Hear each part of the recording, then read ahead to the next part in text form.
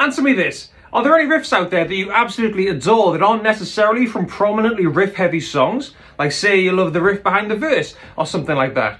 This is one of my personal favourites because they're two quite cool interlinking guitar parts. If you know the song, comment down below and let me know your favourites.